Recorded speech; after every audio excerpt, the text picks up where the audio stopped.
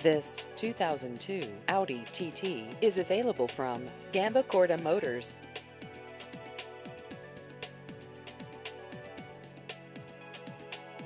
This vehicle has just over 81,000 miles.